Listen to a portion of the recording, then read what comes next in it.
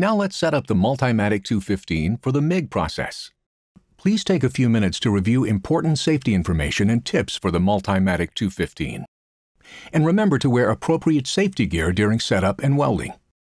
First, make sure your machine is powered off. Open the side door. Route the control cable through the access hole in the front of the machine. Then install the MIG gun into the drive casting in the front of the machine, making sure it's completely seated in the drive assembly. Tighten the gun connection to the receptacle with a threaded side knob. Then, connect the control cable to the 4-pin connection. Twist the collar to tighten. While the machine is still off, connect the drive lead into the positive receptacle and turn clockwise to tighten. Next, connect the work cable to the negative receptacle and turn clockwise to tighten. Now the machine is set up to DCEP, or electrode positive. Connect the free end of the gas hose to the MIG gas solenoid located on the back panel of the Multimatic. Tighten with a wrench.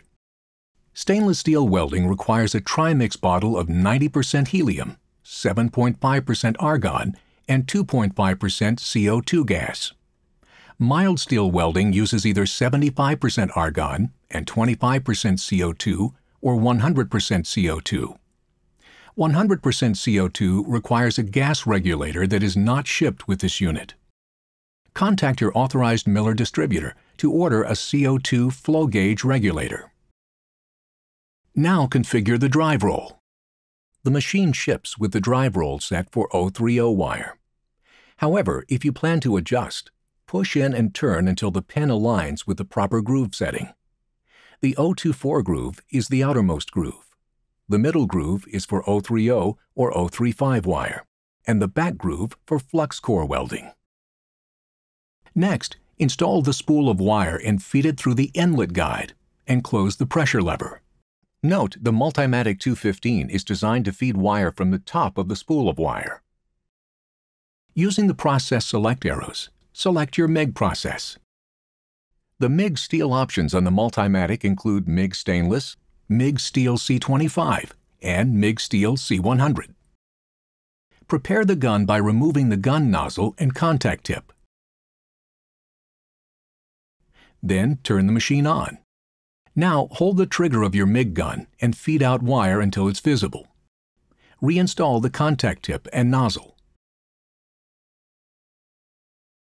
Finally, check the drive roll pressure to ensure a trouble-free weld. Place your gun tip over an insulated surface like this wood block and feed the wire until it feeds consistently and curls on the wood without slipping. Adjust the tension as needed. Snip the wire,